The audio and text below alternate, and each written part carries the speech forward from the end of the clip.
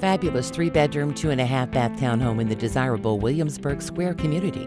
Enjoy an open floor plan with an eat-in kitchen, large family room with cozy fireplace, plus a formal bright dining room with custom finishes. Head down to the finished bright and open basement, perfect spot to relax. Don't miss your chance. Plan a tour with Susan and Douglas Klein today.